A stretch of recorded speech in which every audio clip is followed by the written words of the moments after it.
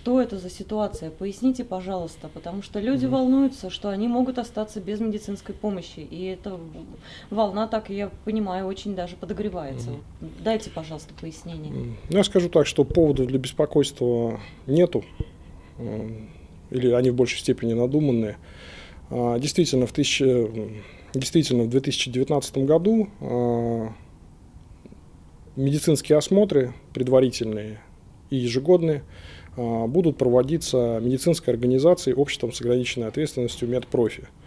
А, Автомобильный завод а, на конкурсной основе ежегодно закупает эти услуги.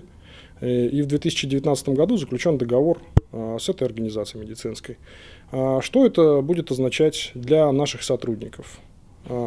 Это будет означать в первую очередь то, что медосмотр будет в хорошо оснащенной клинике, в шаговой доступности от автозавода по адресу улица Октябрьская, 30А. Это клиника Медпрофи. А, Что касается деятельности заводских медицинских пунктов, где работники в случае необходимости могут получить квалифицированную медицинскую помощь, Здесь все останется без изменений. Э, Заводские здравпункты будут обслуживаться специалистами э, клиники Медпрофи. И в случае необходимости работники автозавода по-прежнему смогут получить и квалифицированную медицинскую помощь, и пройти вакцинацию.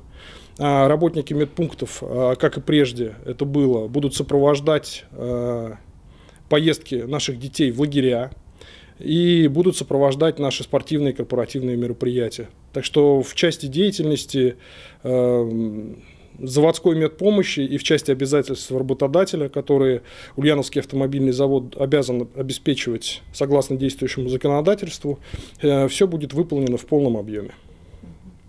Что касается поликлиники номер один, Мгм. она продолжит функционировать на территории автозавода. И а, вот, чтобы не быть голословной, Мгм. есть вот такая вот анонимка, где говорится, что работодатель, ну имеется в виду завод, повысил аренду своей же поликлиники, а, расположенной на территории. То есть есть ли действительно какие-то такие ну, неблагоприятные факторы для работы этого учреждения? Ну, начнем с того, что поликлиника э, номер один – это подведомственное учреждение э, медсанчасти имени Егорова. Вот, и говорить что-либо о решениях медсанчасти, я считаю, наверное, некорректным, но чтобы не быть голословным, э, вот в данный момент э, на регистратуре объявление, что с 4 февраля поликлиника будет работать в обычном режиме. То есть э, по-прежнему в течение февраля, наверное, марта, а может быть и далее, работники завода смогут, и ветераны смогут обратиться туда, получить какие-то консультации.